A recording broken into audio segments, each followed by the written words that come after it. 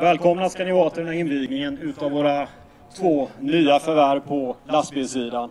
Dels en flisbil. Vi kör ju rätt mycket cellulosaflis ifrån våra sågverk till våra bruk. Och dels vår rundvirkesbil då. Och det är ju inte vilka fordon som helst, utan det är de här 74 tonnarna som vi pratade om igår, va? mot de konventionella 60-tonsfordonen. Eh, och det här är smart, eh, för att istället för att köra fyra vänder för en volym så kan vi nu köra tre vänder istället. Och det kan ju var och en räkna ut att det här är bra för plånboken som Christer sa inledningsvis med 25% minskat transportarbete. Men det är också bra för miljön. Och det är också bra för vägarna. För att axeltrycket på de här bilarna är lägre än den konventionella lastbilen. På grund av att vi har fler axlar på de här eh, bilarna som Åsa Fors ska berätta lite mer om som är åkerichefen. Givetvis så häller vi RME också i bilarna. Förnybart bränsle. Och det lärde sig ju även Stefan Edman nu att det är bra. Eller hur? Han blev ju upplärd utav Albin på ett föredömligt sätt igår. Så det är eh, kalas. Så RME kör vi i de här bilarna. Och utav våra 25 lastbilar på Södra Skog så är vi uppe i 18 nu va, som kör på RME. 18. Det stämmer. Från och med den här veckan så är det 18 stycken. Precis. Förnyelsebart bränsle.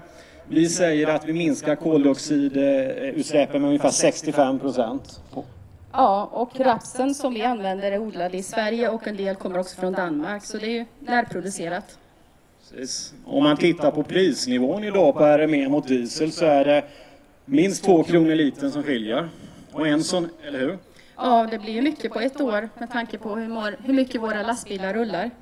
Så för ett sånt här ekipage som drivs av tre, körs av tre chaufförer så handlar det om ett par hundratusen om året man sparar i bränslekostnader. Det blir uppåt 5 kronor kubikmetern. För ett sånt ekipage kör vi ungefär 60 000 kubikmeter på ett år. Ja, det är helt rätt det. Vi hade 25 bilar och sen finns det en massa åkeribilar också. Därmed lämnar jag ordet till dig Åsa.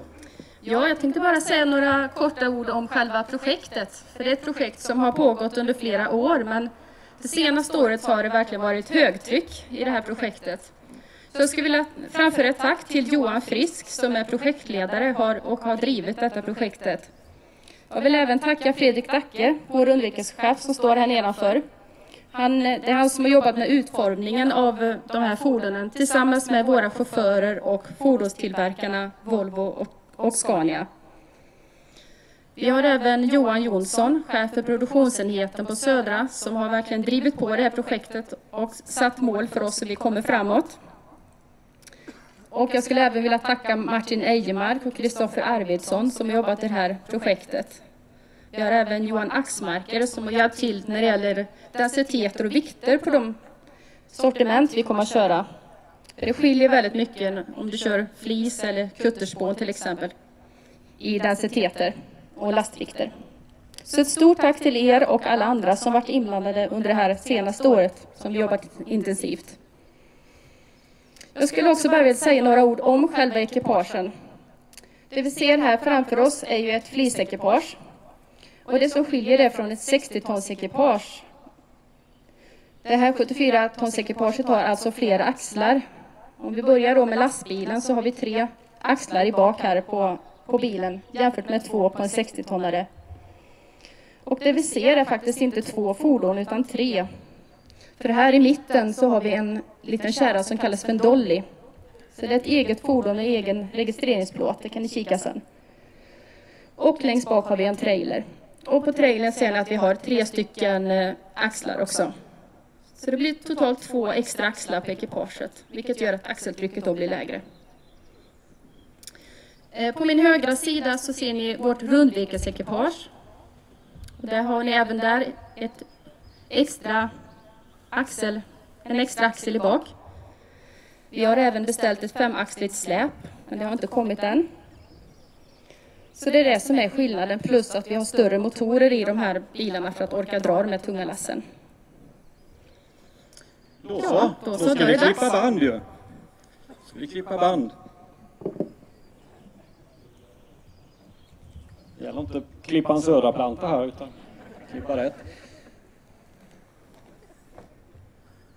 Då eh, inviger jag de här eh, första ekipagen i södra eh, när det gäller 74-tonnare. Och Moron var den första i en serie utav liknande fordon i Södra land. Härmed är de invigda.